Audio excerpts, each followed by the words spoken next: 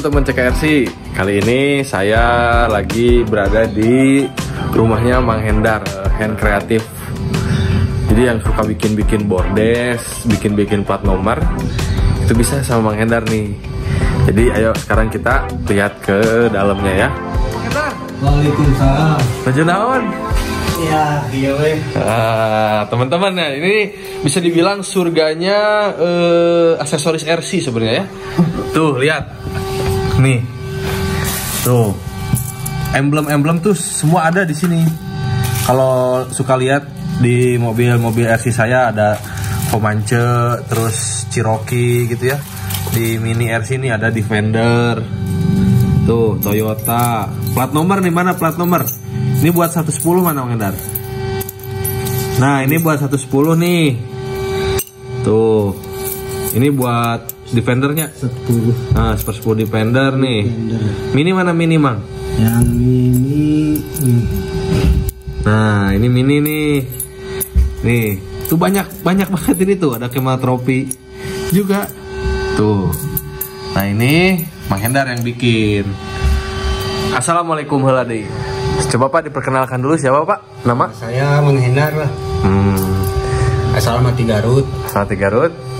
Produksi di Bandung. Oh, terus sudah lama Pak bikin-bikin emblem plat nomor?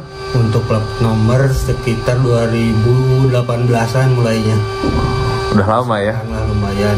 Oke. Eh, sekarang Pak langsung aja ya, biar teman-teman tahu nih masalah harga plat nomor nih. Untuk satu set depan belakang itu berapa Pak? Untuk plat nomor kita samain untuk mini sama 110 di harga 50.000 per pasang. Oke.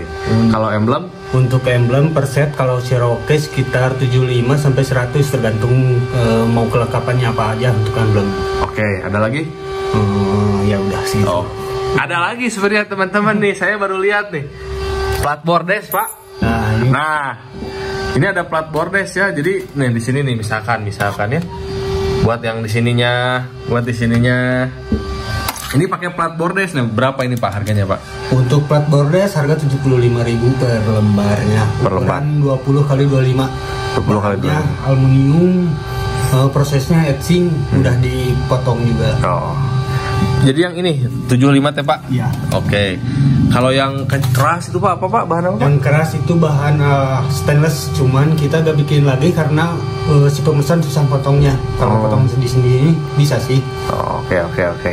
Pak jadi sebenarnya bapak tuh eh, hobi-hobian aja bikinin itu apa emang dijadiin mata pencarian? Sebenarnya ini hobi untuk melengkapi hobi aja. sih. Oh, jadi usaha sehari-harinya apa nih Pak? Untuk kesehariannya kita bikinnya eh, di bidang piala, mungkin eh, plakat, medali kayak gitu aja.